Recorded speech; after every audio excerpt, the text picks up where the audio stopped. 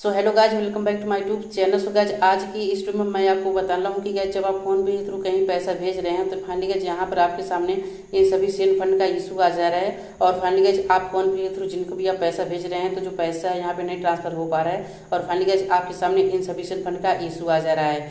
तो इस वीडियो में गैस मैं आपको ये दिखा हूँ कि यहाँ पे जो इनसफिशियंट फंड का इशू आ रहा है आपके फ़ोन पे में, आप यहाँ पर इस प्रॉब्लम को कैसे सॉल्व करेंगे, या आखिर इशू आ क्यों रहा है? तो गैस आप यकीन मानिए, अगर आप इस वीडियो को पूरा देखेंगे तो यहाँ पे जो प्रॉब्लम है इनसफिशियंट फंड का फ़ोन पे में जो प्रॉब्लम है, वो यहाँ पे सॉल्व हो जाएगा और फाइनली आपको जो अमाउंट होगा, वो यहाँ पे सक्सेसफुल ट्रांसफ़र हो जाएगा विदाउट एनी इशूज तो अगर वो आके में गैस आप इनसफिशियंट फंड प्रॉब्लम को सॉल्व करना चाहते हैं फ़ोन पे में तो इसके लिए गैस आप प्रॉपर वीडियो पाए तो सिंपली गैस आप इस वीडियो के साथ बने रहिए और वीडियो को पूरा देखिए। तो चलिए फ्रेंड्स आज की इस वीडियो को मैं शुरू करता हूँ। अब फाइनली गैस चलिए मैं आपको बताता हूँ कि वो कौन सा एज स्टेप है जिसको फॉलो करिएगा। आप बहुत ही इनसफिशियंट फंड प्रॉब्लम को आप सॉल्व कर सकते हैं फ़ोन पे एप्लीकेशन तो चलिए गैस यहाँ पे मैं आपको शुरू से बताना स्टार्ट करता हूँ।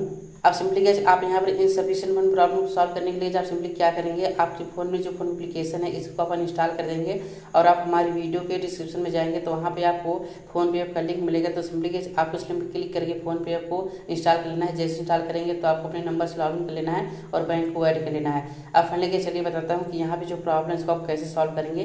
तो देखिए इससे पहले आपको ये जाना ज़रूरी हो जाता है कि यहाँ पे जो प्रॉब्लम है इनसफिशियंट फंड आखिर आता क्यों है और इसके आने के पीछे क्या एक्जेक्टली रीजन है। तो गैस अगर आप ये जानते हैं कि प्रॉब्लम क्या है और क्यों आता है तो यहाँ पे गैस आपका जो प्रॉब्लम होगा, वो यहीं पे सॉल्व हो जाएगा। अब देखिए यहाँ पर इनसफिशियंट फंड होने के पीछे दो पॉइंट है। देखिए, जो फ़र्स्ट पॉइंट है फ्रेंड वही कहता है कि मान लीजिए, अगर आपके खाते में पैसा नहीं है तो भी आप पैसा किसी को भेज रहे हैं। जब आपके खाते में पैसा है ही नहीं तो पैसा जाएगा नहीं। और सिंपली आपको इनसफिशियंट फंड का यहाँ पे इशू आएगा। इनसफिशियंट का मतलब होता है अपर्याप्त मतलब कि जो फंड है आपके खाते में वो पर्याप्त नहीं है। अब यहाँ पर गैस आप इसको एग्ज़ाम्पल से समझिए, अगर आपके खाते में सिर्फ़ दो हज़ार रुपए हैं और आप किसी को पाँच हज़ार रुपये भेज रहे हैं तो पैसा कहाँ से जाएगा? तो सिंपली आपको यहाँ पर ये इशू आना लाजमी है इन सफिशियंट फंड का। क्योंकि गैस पाँच हज़ार तभी जाएगा जब आपके खाते में पाँच हज़ार रहेगा। जब आपके खाते में दो ही हज़ार है तो पाँच हज़ार कैसे जाएगा? तो मान लीजिएगा अगर आपके खाते में दो हज़ार रुपये हैं और आप पाँच हज़ार भेज रहे हैं तो आपके सामने ऐसा इशू आना लाजमी है। तो सिंपली कैसे यहाँ पे देखिए इस प्रॉब्लम का आपको सोल्यूशन यही मिलेगा। आप जिसको भी पैसा भेज भेजना है जितना पैसा भेज रहे हैं तो सबसे पहले आप चेक कर लीजिए कि क्या आपके खाते में उतना पैसा है भी या नहीं भी। अगर आपके खाते में उतना पैसा नहीं है तो आपके सामने ऐसा इशू आएगा। और अगर फ्रेंड आपके साथ ऐसा कंडीशन बनता है तो यहाँ पे गाइज़ इस इशू को मैं तो क्या गाइज़ दुनिया का कोई भी इंसान इस प्रॉब्लम को सॉल्व नहीं कर सकता। अगर आपके खाते में पैसा नहीं है तो भी आप पैसा भेज रहे हैं तो आपके सामने ऐसा इशू आएगा ही आएगा। अब चलिए गए यहाँ पे जो सबसे मेन इंपॉर्टेंट बात आती है, वो यहाँ पे आके स्टक होती है, यहाँ पे आके फंसती है कि आपके खाते में पैसा होने के बाद भी आपके सामने इनसफिशियंट फंड का इशू आता है। यही सबकी शिकायतें होती है, यही सबकी प्रॉब्लम होती है। अब चलिए बताता हूँ कि अगर मान लीजिए कि आपके खाते में पैसा होने के बावजूद भी आप पैसा भेज रहे हैं तो भी इनसफिशियंट बता रहा है।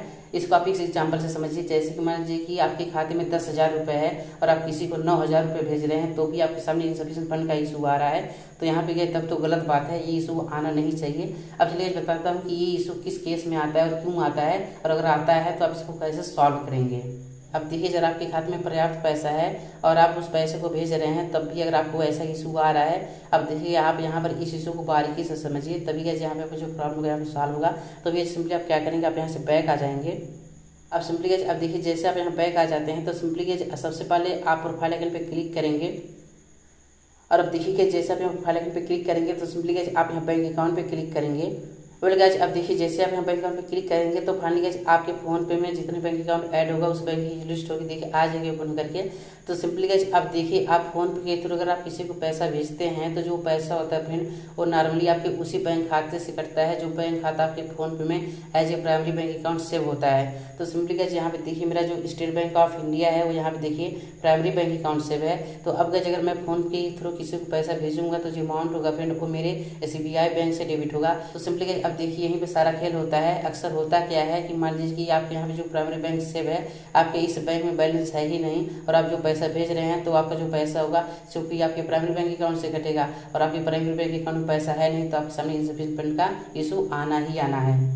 तो यहाँ पर गैस आपको सबसे पहली बार आकर के चेक कर लेना है कि आप जिस खाते से पैसा भेज रहे हैं, क्या वो बैंक अकाउंट आपका प्राइमरी बैंक अकाउंट सेव है? अगर सेव है तो आप पैसा भेजेंगे और आपके उस खाते में पैसा है तो आप सामने ऐसा इशू नहीं आएगा।